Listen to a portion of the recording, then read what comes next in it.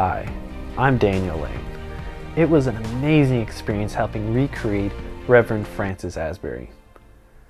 He lived during the time of the Revolutionary War. He was about 20 years after George Whitefield in the Great Awakening. So George Whitefield is seeing war will be inevitable, and with the help of Benjamin Franklin, he arms the colonists with the latest in war strategies and battle information. He's preaching nonstop. Then we have Pastor Samuel Cooper in Massachusetts, who turns the Boston area into an impressive revival. There's also Gilbert Tennent in Pennsylvania, Philadelphia area is his revival zone. We have Samuel Davies down in the valley in Virginia, and he was another guy who lived on the back of a horse. Revival followed where he went. Powerhouse men of God got their generation in touch with Jesus. Many small revivals would end up creating the national awakening that we call the Great Awakening. However, the war was led by brave pastors and quite often men of faith, among which I number at least a half dozen miracle grandpas. We fought the war, and we won. Yet, with the war over, people are entering this new nation from everywhere. My hero, Francis Asbury, steps up to be the one.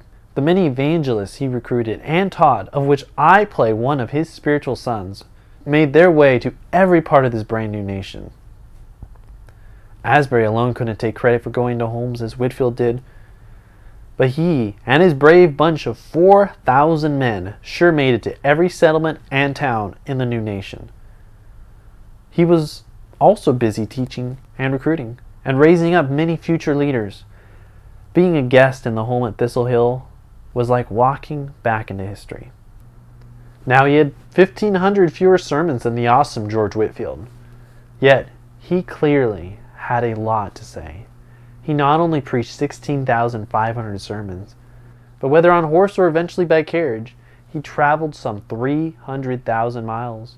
And his circuit riders would not only see a new generation serving Jesus, but even over a hundred years later, in the area of our ministry where this is being shot, we have converts finding Jesus thanks to those dedicated circuit riders. If you are looking for a hero, to set for your life goal. Being the spiritual son of Francis Asbury is not a bad place to start. I hope you have fun stepping into history with us. Along with the Revival Radio TV team, my prayer is that your passion is to also see people find Christ. I pray that having seen this, you will commit to pray over your town or city until you see the results that Lady Huntingdon and Francis Asbury saw in their assignments.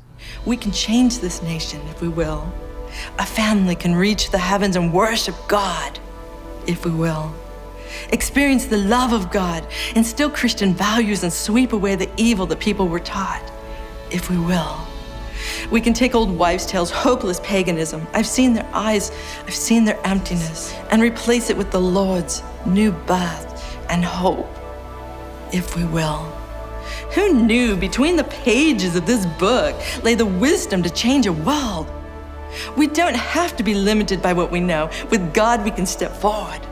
With this book, what can't we do? If we will. We can do it if we will. See you on the big screen starting Sunday, February 14th.